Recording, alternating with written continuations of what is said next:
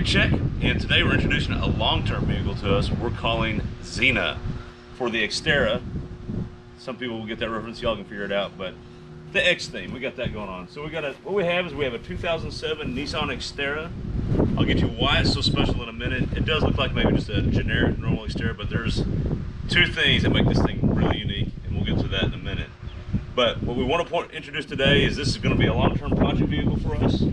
We're going we it's a 2007. We purchased off of Craigslist for $4,000, and we'll be making some modifications as we update this car.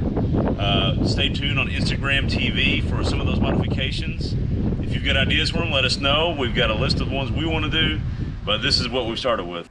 Alrighty, car, we're on the inside of the Xterra. Uh, we mentioned on the outside that there's some special things about this. But before we get to that, what are some things, you know, it's a high mileage vehicle. What are some things we got going on in this? Well, you know, it's pre-owned, so the dog uh, from the previous owner used to chew on some stuff. Uh, the handbrake is a little gnawed on a little bit.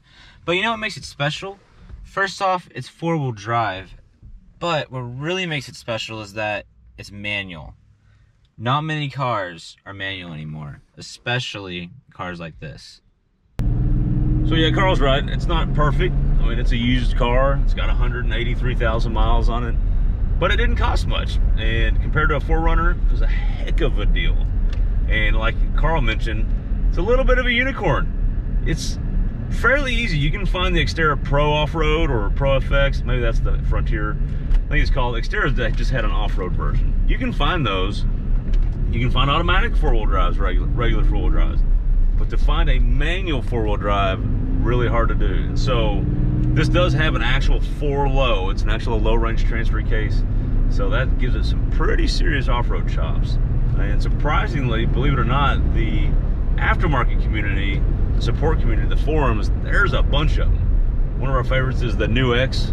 That's a great forum to go check out more stuff. And we're gonna be all over that place as we try to figure things out.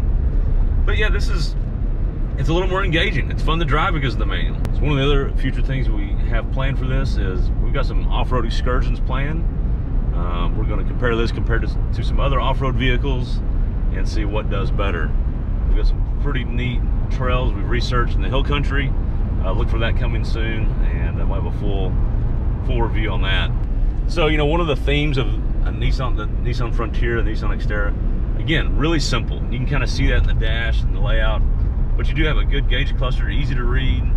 Um, you got a full set of gauges, battery, oil pressure, temp, fuel, and a tachometer. You've got a little gauge that shows you what four-wheel drive mode you're in, and it works flawlessly. And previous owner here has put a aftermarket radio in there. The standard radio, not the best, and that's pretty well-known issue as well.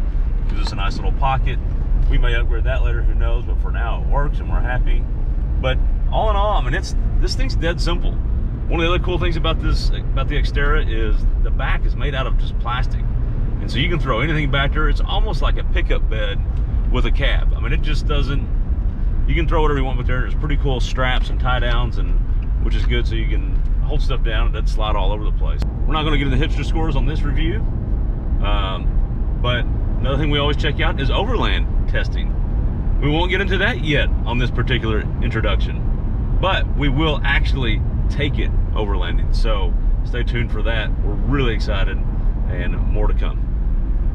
One of the things about Nissan and these Frontiers and Xterras is they're really simple. It's one of the last few cars they make that are just dead simple, but still pretty reliable.